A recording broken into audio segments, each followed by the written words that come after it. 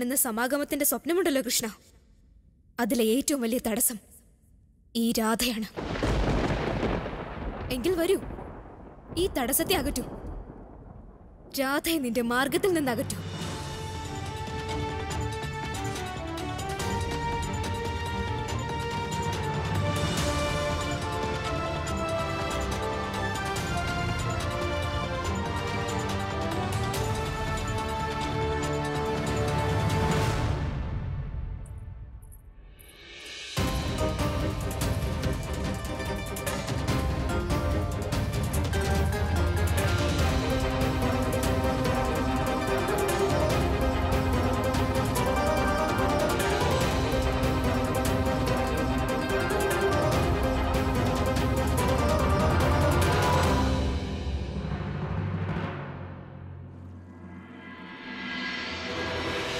ഞാൻ ബർസാനയിലെ ഒരു പെൺകുട്ടിയെ പ്രണയിക്കുന്നു.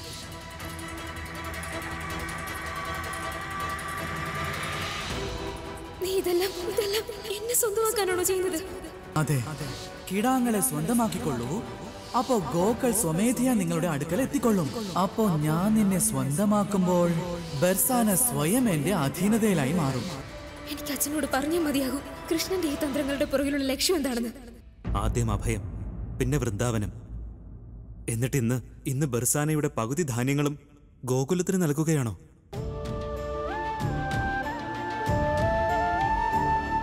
ഈ ഉപകാരത്തിന് ഞാൻ എന്താണ് തിരിച്ചു തരേണ്ടത്? ഒരു സുഹൃത്തായിരുന്നിട്ട് ഇങ്ങനെയൊക്കെയാണോ സംസാരിക്കുന്നത്? സൗഹൃദത്തിൽ ഉപകാരം എന്ന വാക്കില്ല. സുഹൃത്ത് എന്ത് നൽകുന്നോ അത് സ്വീകരിക്കുകയാണ് വേണ്ടത്. ഞാനൊരു സ്വാർത്ഥനായിട്ടൊന്നുമല്ല. ഇപ്പോൾ ബർസാനയുടെ പകുതി ധാന്യങ്ങൾ നൽകിയത്. ഞാൻ ബർസാനയുടെ മുഖ്യനല്ലായിരുന്നുവെങ്കിൽ എനിക്കുള്ളതെല്ലാം ഞാൻ നൽകുമായിരുന്നു നന്ദ.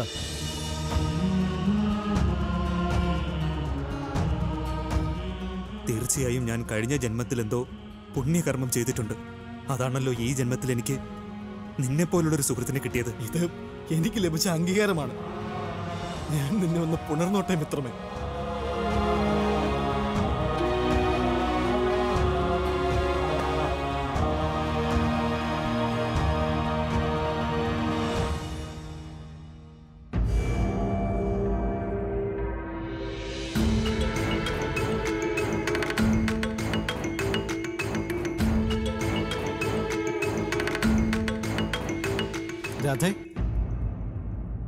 എന്താണ് ഇങ്ങനെ ചിന്തിച്ചുകൊണ്ട് നിൽക്കുന്നത്? എന്തു പറ്റി?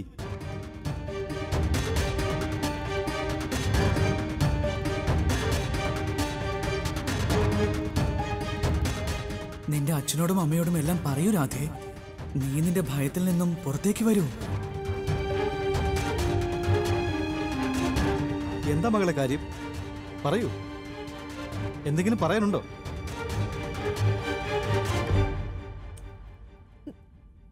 ഒന്നുമില്ല അച്ഛാ. ഇപ്പോൾ അച്ഛന്റെയും അമ്മാവിന്റെയും സൗഹൃദം കണ്ടപ്പോ ഞാൻ നോക്കി നിന്ന് പോയതാണ്.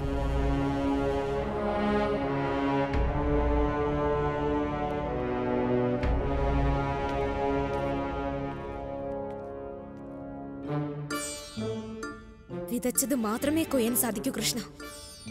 നിന്റെ തന്ത്രങ്ങൾ ഒരിക്കലും അച്ഛന്റെയും അമ്മാവിന്റെയും സൗഹൃദത്തെ ബാധിക്കില്ല. ഇവരുടെ സൗഹൃദത്തിൽ നിന്റെ കള്ളത്തിന്റെയും കാപട്യത്തിന്റെ നിഴൽ പോലും പതിയാൻ ഞാൻ അനുവദിക്കില്ല.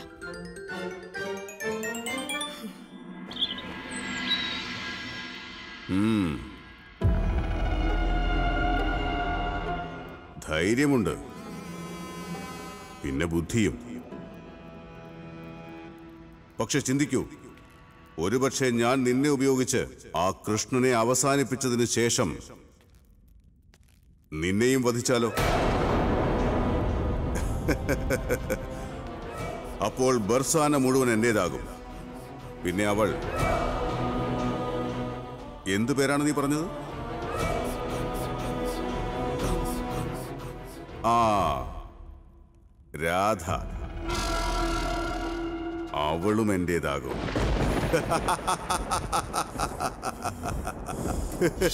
സൂക്ഷിച്ച് സംസാരിക്കൂ കംസ.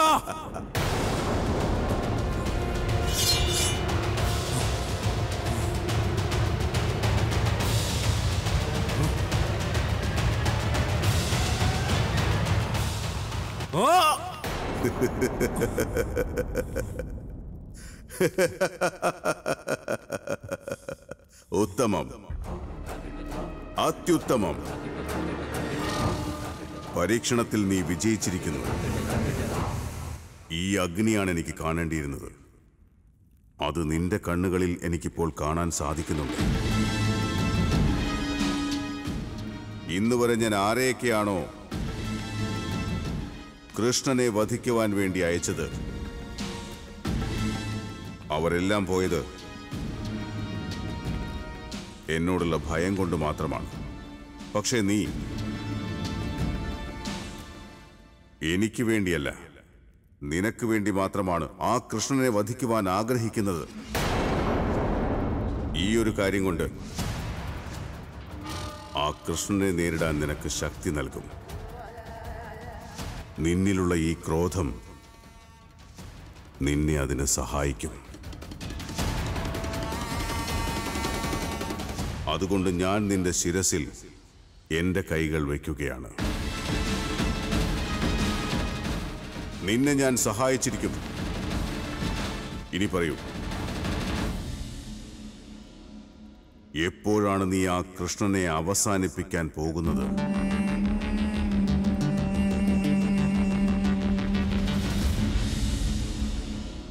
ഇനി കുറച്ച് ദിവസങ്ങൾ കഴിയുമ്പോൾ ബർസാനയിൽ വൈകുണ്ഠ ഏകാദശിയുടെ ഉത്സവമാണ്.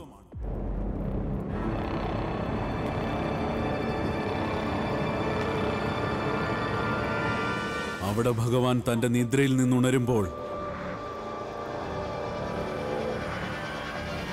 ഇവിടെ കൃഷ്ണൻ തന്റെ അവസാന നിദ്രയിൽ അലിഞ്ഞു ചേർന്നിരിക്കും.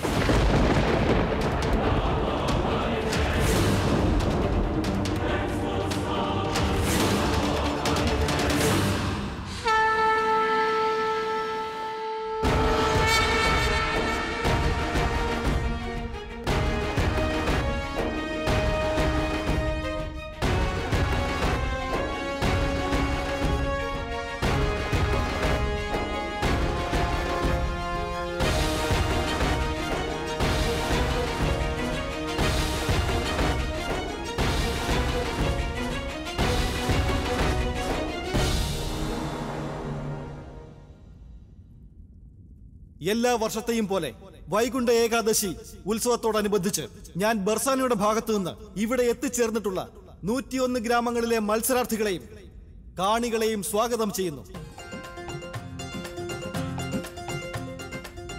എല്ലാവരോടും എനിക്ക് നന്ദിയുണ്ട്. ഈ വർഷവും ഞങ്ങൾ സംഘടിപ്പിക്കുന്ന ഈ മത്സരത്തിൽ പങ്കെടുക്കാനായി വന്നതിന്.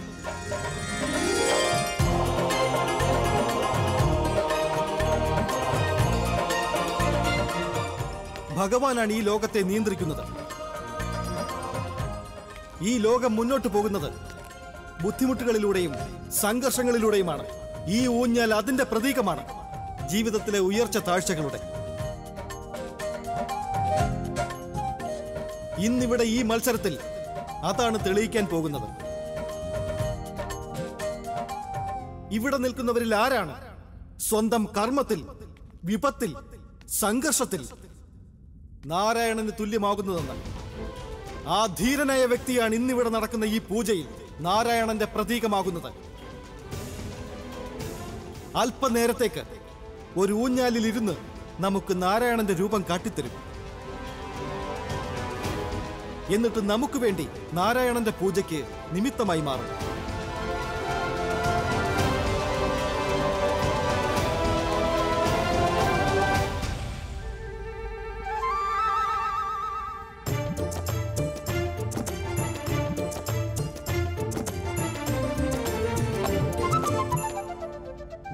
നൂറ്റിനാല് ഗ്രാമങ്ങളിൽ നിന്ന് കൊണ്ടുവന്നിരിക്കുന്ന തടികൾ കൊണ്ടാണ് ആ ഊഞ്ഞാൽ നിർമ്മിക്കുന്നത്.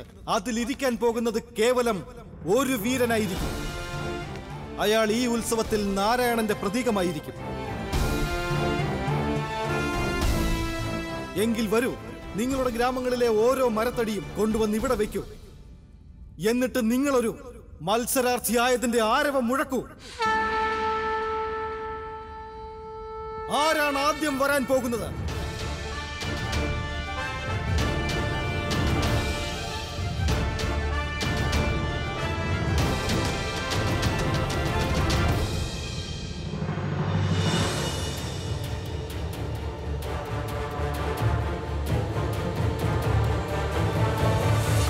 ബർസാനയിലാണ് ഈ ഉത്സവം നടക്കുന്നതെങ്കിൽ ആദ്യ ആരവം മുഴക്കുന്നത് ബർസാനവാസികൾ തന്നെയായിരിക്കും.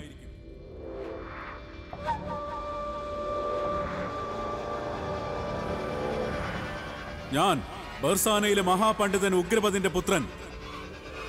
അയൻ. ബർസാനയ്ക്ക് വേണ്ടി ഞാൻ ഈ മത്സരത്തിൽ പങ്കെടുക്കുന്നതായി അറിയിച്ചു കൊള്ളുന്നു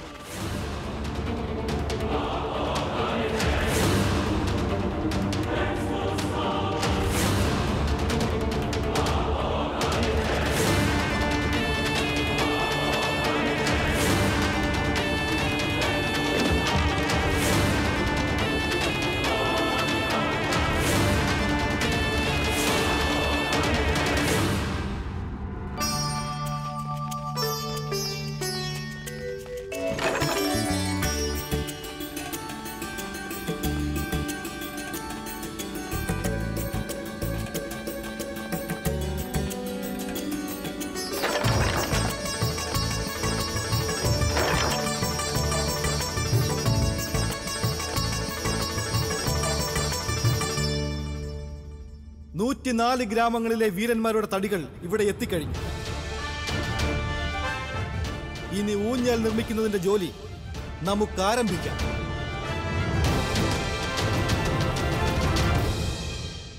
അമ്മാവാ. കണക്ക് കൂട്ടലിൽ എന്തോ തെറ്റുപറ്റിന്നാ തോന്നുന്നേ.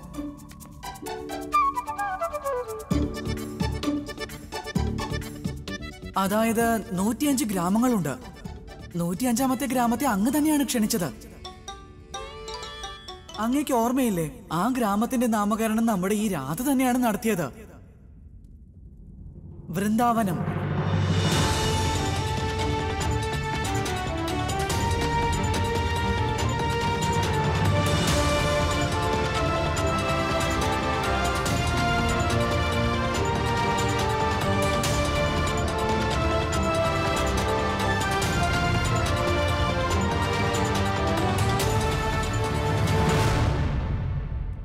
ज्येष्ठा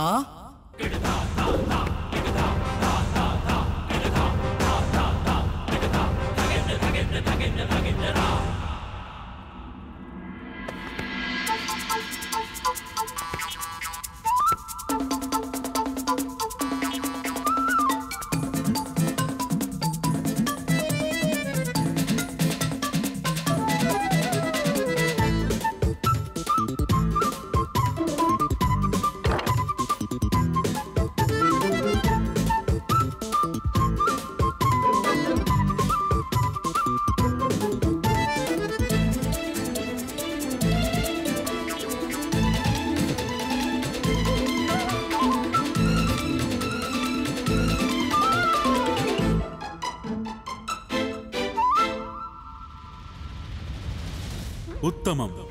അത്യുത്തമം കൃഷ്ണ. ഞാൻ ഒട്ടും പരിശ്രമിക്കാതെ തന്നെ നീ സ്വയം ഈ മാർഗത്തിലേക്ക് വന്നു. ഞാനും മഹാരാജാവ് കംസനും കൊണ്ടുവരാൻ ആഗ്രഹിച്ചിരുന്ന അതേ മാർഗത്തിൽ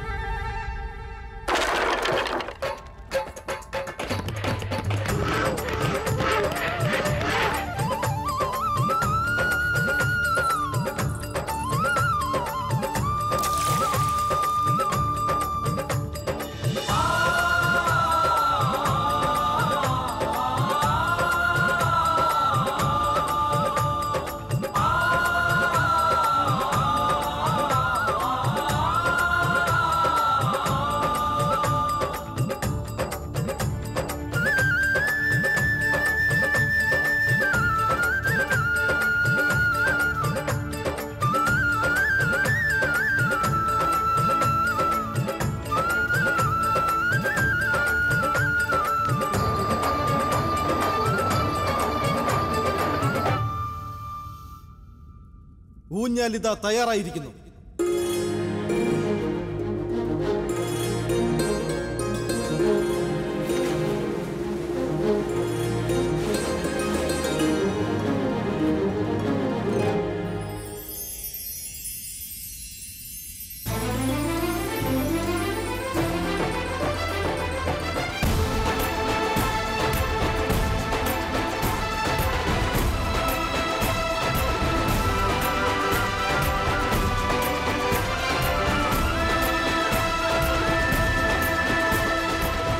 ഇതിൽ ഈശ്വരന്റെ പ്രതീകമായ ആ ധീരൻ ഇരിക്കുന്നതായിരിക്കും. ശാ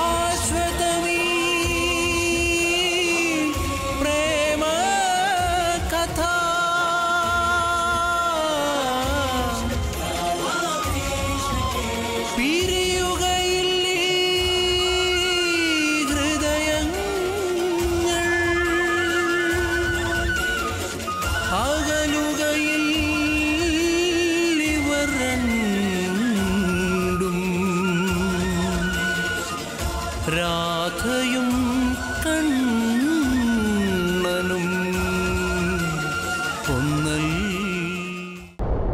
ആരായിരിക്കും ആ ധീരൻ? അതായത് ഈ മത്സരത്തിൽ വിജയിക്കുന്നത് ആ വ്യക്തിയാണ് നമ്മുടെ നാരായണൻ എന്ന് പറയപ്പെടുക. ഇതെന്താ അപൂർണമായ മത്സരമാണ്? അതായത് ലക്ഷ്മിയില്ലാതെ വിഷ്ണുവിനും ഈ സൃഷ്ടിയെ നിയന്ത്രിക്കുവാൻ സാധിക്കുന്നതല്ല. ദേവിയെ ഉണർത്താതിരിക്കുകയാണെങ്കിൽ പൂജ പൂർണമാകില്ല.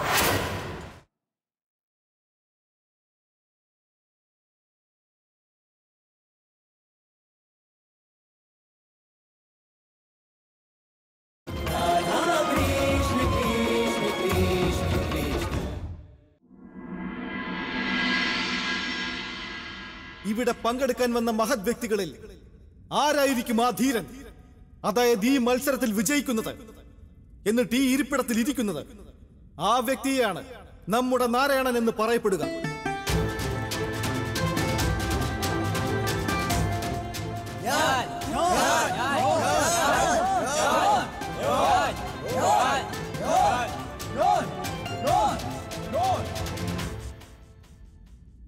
അമ്മാവാ അമ്മാവ എനിക്ക് മനസ്സിലാവുന്നില്ല. ഇത് എന്ത് അപൂർണമായ മത്സരമാണെന്ന്.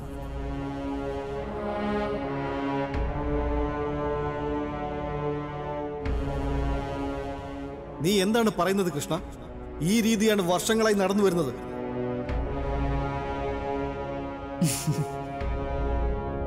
എന്നോട് ക്ഷമിക്കണോ അമ്മാവ?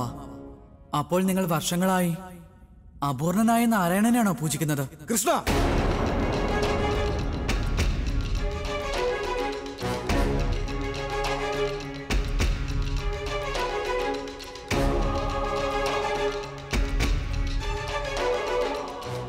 പരിഹസിക്കാനുള്ള സമയമല്ല.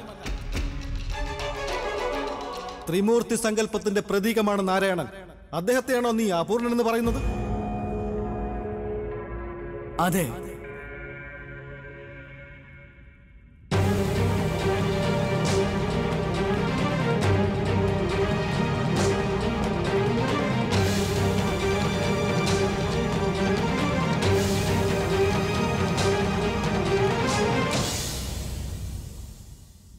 അഥവാ നാരായണനില്ലാതെ ത്രിമൂർത്തി സങ്കല്പം പൂർണമാകില്ല.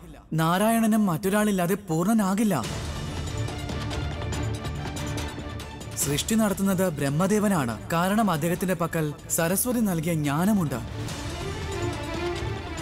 ശിവനും പാർവതിയില്ലാതെ സംഹാരം നടത്താൻ സാധിക്കുന്നതല്ല. പിന്നെ വൈഭവമില്ലാതെ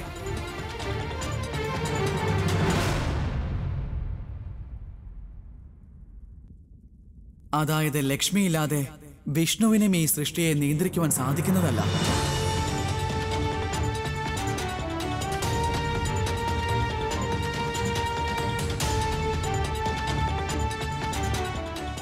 ഈ മൂന്ന് ദൈവങ്ങളും അപൂർണരാണ് സ്വന്തം പത്നിമാരുടെ ശക്തിയില്ലാതെ. ഒരുപക്ഷെ ഈ മത്സരം കേവലം പുരുഷന്മാർ തമ്മിലാണെങ്കിൽ അതിന്റെ വിജയം അപൂർണമാണ്.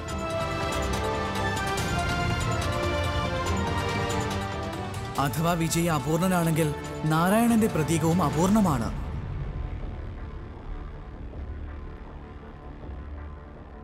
അപ്പോൾ നാരായണന്റെ പ്രതീകം അപൂർണമാണെങ്കിൽ ഈ പൂജയും അപൂർണമാകില്ലേ അമ്മാവ?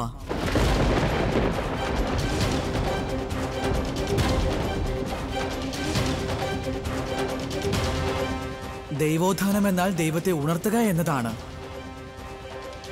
ഈ ദൈവോത്ഥാനം ദേവിയെ ഉണർത്താതിരിക്കുകയാണെങ്കിൽ പൂജ പൂർണമാകില്ല.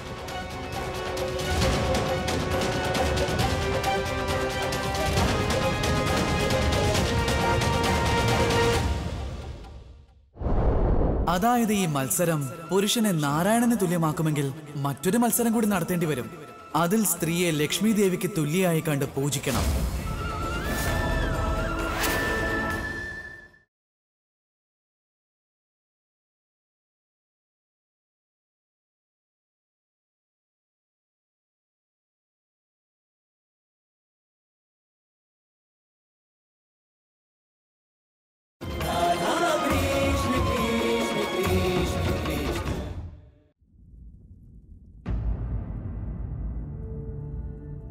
കൃഷ്ണൻ പറയുന്നത് വളരെ ശരിയാണ്. അത് ഉചിതമാണ് മുഖ്യരെ. കൃഷ്ണൻ പറയുന്നത് ഉചിതമാണ്. കൃഷ്ണൻ പറയുന്നത് വളരെ ശരിയാണ്.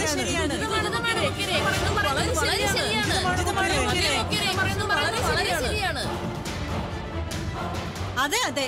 നാരായണനെ പൂർത്തിയാക്കുന്നത് സ്വന്തം പത്നിയാണെങ്കിൽ പിന്നെ മത്സരം പുരുഷന്മാർക്ക് മാത്രം എന്തിനാണ്? അപ്പോൾ നീ എന്താണ് ആഗ്രഹിക്കുന്നത്?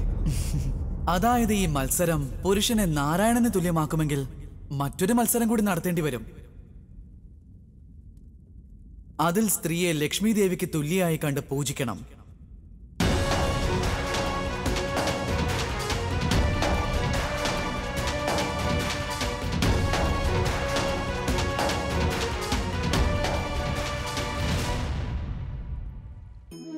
ജത്രുനാര്യസ്തു പൂജ്യന്തേ രമന്തേ തത്ര ദേവത.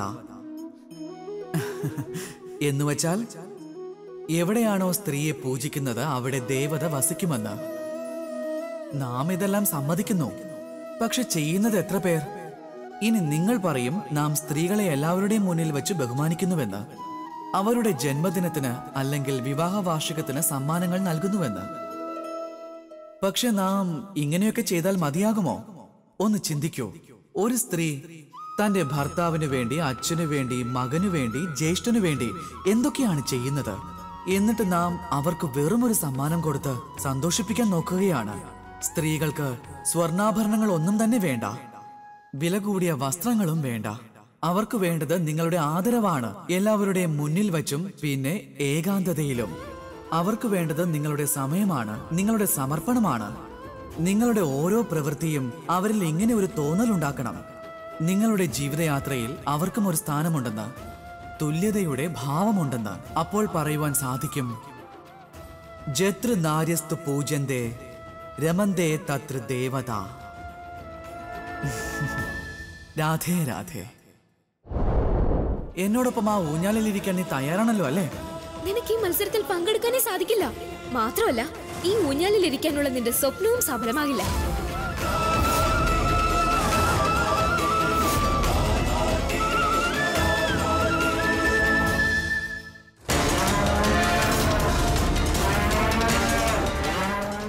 കാള ഇതുവരെയും ആരുടെയും ജീവൻ എടുത്തിട്ടില്ല പക്ഷെ ഇപ്പോൾ ഇത് ആരെയും കൊല്ലാൻ തയ്യാറെടുത്ത് നിൽക്കുകയാണ്.